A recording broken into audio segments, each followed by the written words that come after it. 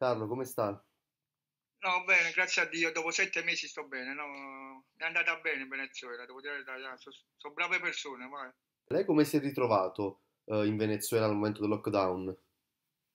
Niente, io sono partito qui dall'Italia che stava tutto bene, qua, solo Milano che stava fatto un po' di focolaio. E, Sì, in, in Europa, in Europa non si sentiva ancora niente, in America Latina completamente zero.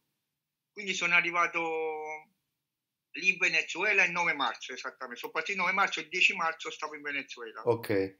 E dopo, e dopo due o tre giorni è successo in Europa un casino. L'Europa iniziava a fare i primi focolai dappertutto. Hanno chiuso automaticamente diciamo, i voli dall'Europa verso l'America Latina. Lei diciamo. inizialmente quanto tempo doveva rimanere in Venezuela? Un mese, Un 30, mese. 30 giorni.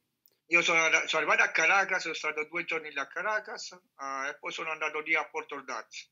È un paese quasi eh, diciamo, ai confini con una città ai confini con il Brasile. va. Ok. E lei Ma- co- come si è arrangiato? Come ha vissuto in quei mesi? Allora, grazie a Dio ho trovato una famiglia buona, diciamo che la mia ragazza, che io sono andato lì per la mia ragazza che la voglio bene, Angelina, la saluto, e, e mi hanno- sono stato a casa della, diciamo, loro per sette mesi. Mio zio che mi ha aiutato, grazie a Dio, mi dava quasi 300 euro mensuali e me la so cavata, perché se non c'era mio zio della Caffè Moreno, Gio Fernando, lo ringrazio, eh, stavo, diciamo, una situazione brutta lì in Venezuela.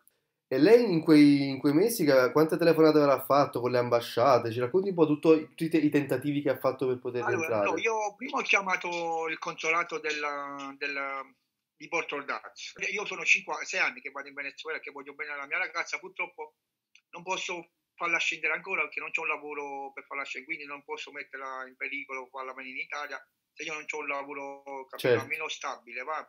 Automaticamente non l'ho potuta portare. So- and- E vado io ogni anno. Solo un anno avevo fatto solo andata nel 97. Ma perché? Perché per- non sapevo quanto tempo restare. E mi sono trovato poi il biglietto, quando sono dopo un mese che volevo fare il ritorno, costava un sacco di soldi, non avevo diciamo disponibilità. E e il consolato mi aiutò.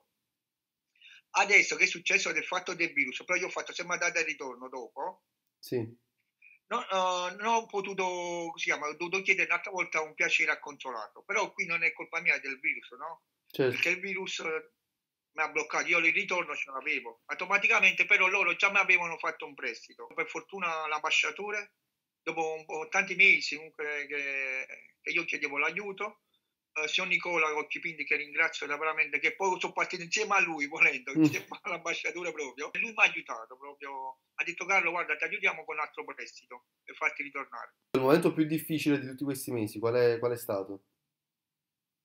Eh, diciamo verso i tre mesi, quei tre, quattro mesi che non vedevo risposta dell'ambasciata, del consolato, dicevano aspetta, arriverà il tuo turno, tranquillo, Carlo, però tu sai avuto- avevo paura che già il prestito avevo fatto, quindi non avevo risposte immediate, diciamo.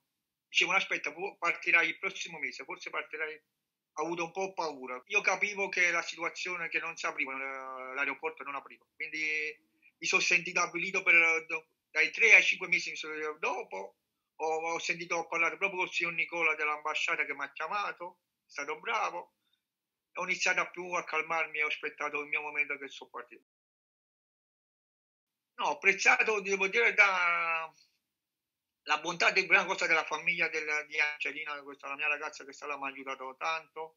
Ho apprezzato la bontà di quelle, quelle persone buone che stavano in Venezuela, che da veramente mi hanno aiutato tanto. Ha qualche consiglio per altre persone che dovre- dovessero trovarsi nella stessa situazione sua? Eh, la prima cosa è stare calmi, aspettare il turno dell'ambasciata, che l'ambasciata, se tu hai diritto, allora ripeto, se tu veramente hai diritto a ritornare, l'ambasciata ti fa tornare. Arriverà il tuo turno, capito? Dopo alla fine, comunque ti fanno partire. E Qual è stata la prima cosa che ha fatto tornato a Napoli?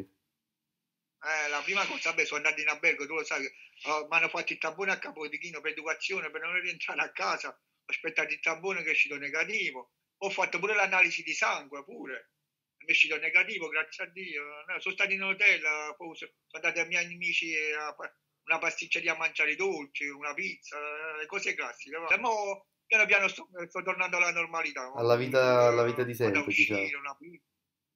Eh, che bello mangiare una pizza, vabbè, normale. Logico. Mi sentivo un poco uh, perso dopo un po' di mesi, capito? Il film, diciamo, certe volte sarà, sarà il finale, lì non sapevo il finale, capito? Certo. Peggio di un film, vai, certo. grazie a Dio, poi il finale è stato bene, vai, grazie a Dio.